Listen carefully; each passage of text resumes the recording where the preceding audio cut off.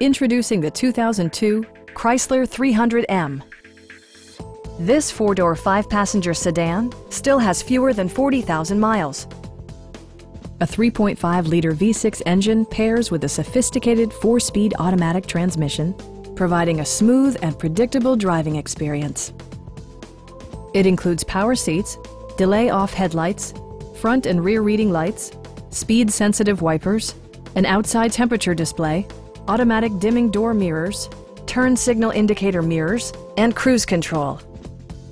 Premium sound drives 11 speakers, providing you and your passengers a sensational audio experience.